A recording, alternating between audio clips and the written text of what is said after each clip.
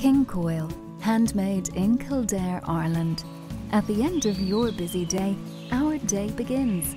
Our luxury fillings cradle you from top to toe in sublime comfort, while independent pocket springs gently support your body.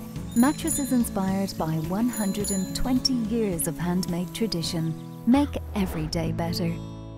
King Koil, because life is worth living.